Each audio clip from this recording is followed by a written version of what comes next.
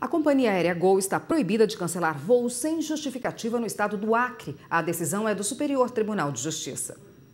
Os ministros da segunda turma do STJ rejeitaram recurso da Gol Linhas Aéreas e mantiveram a decisão do Tribunal de Justiça do Acre, que impediu a companhia de cancelar voos com destino ao município Cruzeiro do Sul, naquele estado.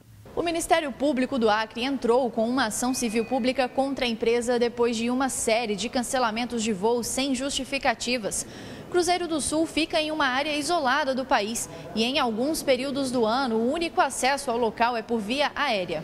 A empresa alegou que a proibição da justiça interfere na atividade econômica da companhia aérea.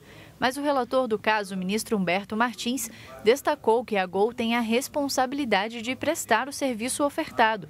Além disso, os ministros entenderam que a empresa violou diversos artigos do Código de Defesa do Consumidor.